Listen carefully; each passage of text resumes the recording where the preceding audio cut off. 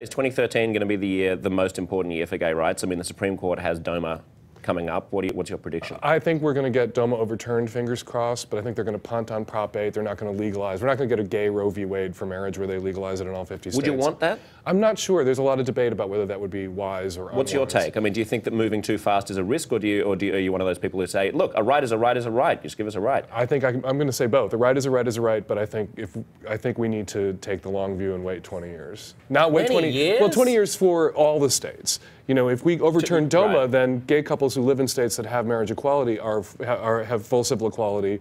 Um, federally and at And the you'd be cool level. with it taking 20 years to drag I- no, Alabama I'm not- kicking and screaming I into am not the cool 21st with it. century? I am not cool with it, but I want the change to happen. And I don't think it'll take 20 years because the pace of change is so rapid. What I think is happening right now in 2013 is we've reached this tipping point on LGBT civil rights. We've reached, you know, pro athletes coming out.